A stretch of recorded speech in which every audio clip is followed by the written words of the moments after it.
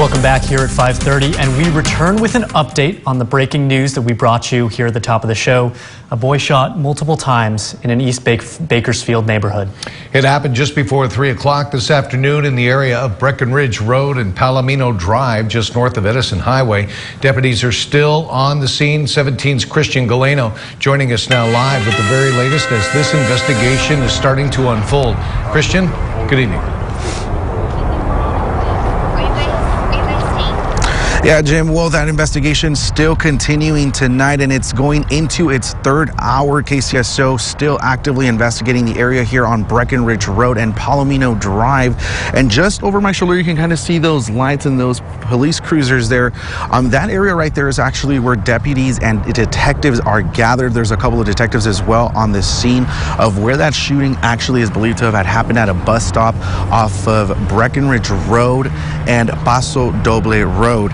Now, what we know so far is that KCSO confirms they have taken a person of interest into custody. We spoke with a woman who heard the gunshots and went to help, and she says the boy was shot, um, appeared to be between 14 and 16 years old, and had wounds in his stomach and in his neck. Now, the witness says she did not see any suspects in the area, but she did hear several gunshots.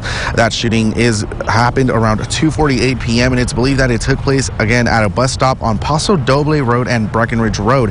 Now, that spot is marked with about 10 shell casings, a backpack, and what seems to be bloodied clothing articles. All I heard was um, gunshots. And when we looked, we saw somebody on the ground and we came over. And I went up to the kid and um, he had holes. And my boyfriend said, somebody needs to put pressure on them holes. And I, I did. I just put pressure until the ambulance came.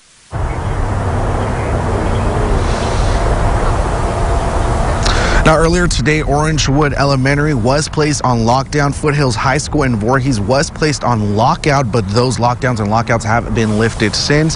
It's also unknown if the if the teenager was actually a student at Foothills High, but deputies are still here on the scene gathering evidence and continuing the investigation tonight. And they are asking the public that if you have any further information that can help them out with tonight's investigation, that you do get in contact with them. That number 861 3110 or secret witness at 322 4040. For now, that's the latest in Southeast Bakersfield. Christian Galeno, 17 News.